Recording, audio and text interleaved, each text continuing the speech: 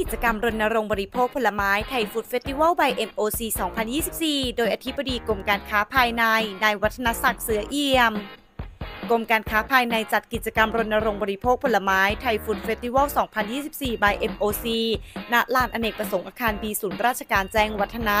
นำผลไม้ภาคเหนือและภาคใต้ มาจำหน่ายตรงถึงผู้บริโภค นักท่องเที่ยวไทยและต่างชาติ เพื่อช่วยเหลือเกษตรกรกระจายผลไม้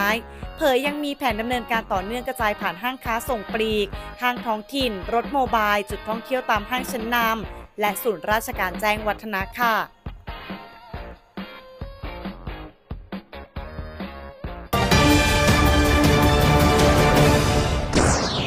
ครับวันนี้นะครับทางกรมการค้าภายในกระทรวงพาณิชย์นะครับก็ได้มาจัดกิจกรรมอีกหนึ่งกิจกรรมดีๆนะครับภายใต้มาตรการบริหารจัดการผลไม้ปี 2567 นะครับซึ่งในเรื่องนี้นะครับท่านรองนายกรัฐมนตรีรัฐมนตรีว่าการกระทรวงพาณิชย์ท่านภูมิธรรมเวชยชัยนะครับได้มีการเคาะมาตรการเอาไว้นะครับสำหรับการบริหารจัดการผลไม้ปีนี้นะครับไว้ถึง 6 มาตรการ 25 แนวทางนะครับตั้งแต่ช่วงปลายปีที่ผ่านมา แล้วก็ได้มีการดำเนินการต่อเนื่องมานะครับอย่างต่อเนื่องนะครับ ตั้งแต่ผลไม้ที่ทางภาคตะวันออกนะครับ ซึ่งตอนนี้หมดไปแล้วนะครับ ไม่ว่าจะเป็นทุเรียนเงาะนะครับมังคุดนะครับ ก็ถือว่าหมดเรียบร้อยแล้วปิดซีซั่นไปแล้วนะครับ แล้วก็ถือว่าปีนี้ราคาดีมากๆนะครับ ในภาคตะวันออกนะครับ ราคานะครับทุเรียนเนี่ยนะครับเคยขึ้นไปสูงสุดถึง 275 บาทต่อกิโลกรัมนะครับ แล้วก็มังคุดเนี่ยเคยขึ้นไปสูงสุดถึง 200 บาทต่อกิโลกรัมเหมือนกันสำหรับเกรดส่งออกนะครับก็ถือว่าเป็นราคาที่ดีนะครับแล้วเกรดรองๆลงมาก็ยังเป็นราคาที่ดีอยู่นะครับรวมถึงเงาะด้วยนะครับเงาะก็ราคาดีมากๆนะครับนะครับก็ถือว่าเป็นการปิดซีซั่นที่สวยนะครับสำหรับทุเรียนภาคตะวันออกนะครับภายใต้มาตรการบริหารจัดการผลไม้ปี2567 นะครับ และตอนนี้นะครับมาถึงคิวภาคใต้กับภาคเหนือแล้วนะครับสำหรับภาคใต้นะครับ ตอนนี้นะครับทุเรียนนะครับ ออกไปแล้วนะครับ 40%แล้วนะครับ เพราะฉะนั้นผมฝากพี่น้องประชาชนนะครับ ถ้าต้องการรับประทานทุเรียนนะครับสดๆนะครับ ตอนนี้ถือว่าเป็นโอกาสทองแล้ว แล้วก็จะเข้าโค้งสุดท้ายแล้วนะครับ เพราะฉะนั้นเชิญชวนนะครับพี่น้องประชาชนนะครับ เจอทุเรียนที่ไหนรีบทานนะครับ เพราะว่าเดี๋ยวจะหมดแล้วออกไป 40%แล้วภาคใต้เพราะหมดภาคใต้แล้วไม่มีแล้วเจอกันปีหน้าเลยนะครับนะครับ เพราะฉะนั้นรีบทานนะครับสำหรับมังคุดตอนนี้ออกมาแล้วนะครับ มังคุดตอนนี้ออกมาแล้ว สิบกว่าเปอร์เซ็นต์นะครับก็ถือว่าเริ่มการทยอยออกมาแล้วนะครับ ซึ่งตรงนี้เนี่ยทางกระทรวงพาณิชย์นะครับได้มีมาตรการบริหารจัดการนะครับทั้งในเรื่องของมาตรการที่จะเข้าไปแทรกแซงนะครับ เข้าไปช่วยซื้อนะครับ อบแห้งต่างๆนะครับรวมถึง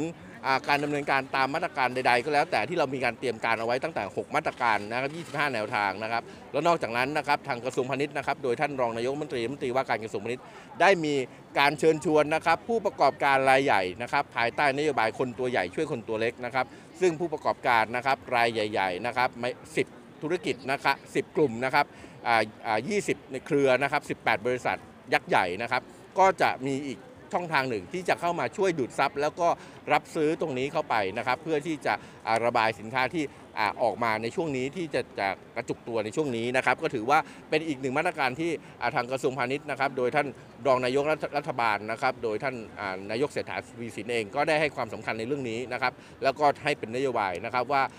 ภาคเอกชนนะครับรายใหญ่ก็ขอให้เข้ามาช่วยนะครับในส่วนของชาวสวนนะครับ เพื่อที่จะ อยู่ด้วยกันอย่างมีความสุขนะครับซึ่งซึ่งตรงนี้เองนะครับเราก็ได้เตรียมมาตรการเอาไว้แล้วนะครับแล้วก็ผู้ประกอบการรายใหญ่ก็เตรียมมาตรการที่จะรองรับไปถึง 3 0 0 0 0 0ตันด้วยกันนะครับก็ถือว่าเป็นอ่าที่น่ายินดีครับ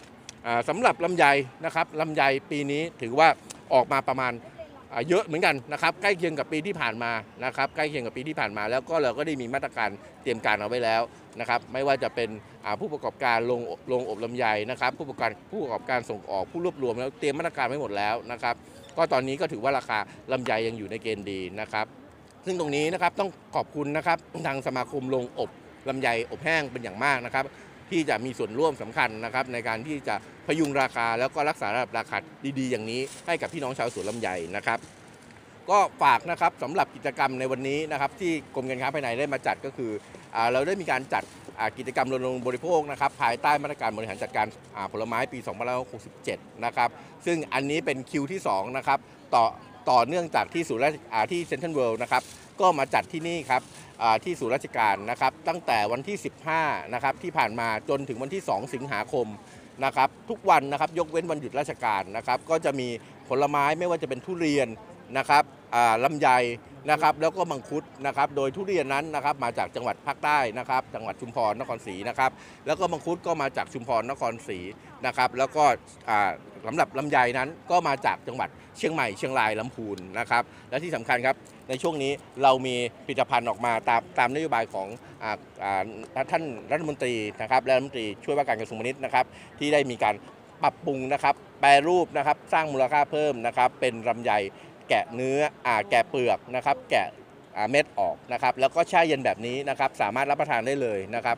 จากการที่ลงมาในพื้นที่นะครับแล้วมีการติดติดตรวจติดตามนะครับก็พบว่าพี่น้องประชาชนให้การตอบรับเป็นอย่างดีมาก ๆเลยนะครับเนื่องจากหนึ่งนะครับรับประทานง่ายแล้วก็รสชาติอร่อยแล้วที่สำคัญครับหวานเย็นชื่นใจแล้วรสหวานรสหวานกำลังดีด้วยนะครับเพราะฉะนั้นก็ถือว่าช่วงนี้ลำไยอร่อยมากๆนะครับก็เชิญชวนพี่น้องประชาชนนะครับ